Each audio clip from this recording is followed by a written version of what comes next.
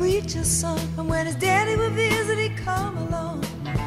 When they gathered around and started talking, Cousin Billy would take me walking. Out through the backyard we go walking. Then he looked into my eyes. Lord knows to my surprise, the only one who could ever reach me was the son of a preacher man. The only boy who could ever teach me was the son of a preacher man. Yes, he was.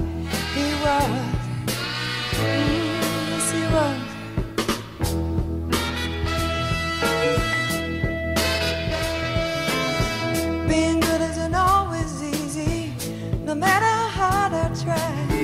When he started sweet talking to me, he'd come and tell me everything is alright. He'd kiss and tell me everything's alright. Can I get away again tonight? The only one who could ever reach me was the son of a preacher man. The only boy who could ever teach me was the son of a preacher man. He.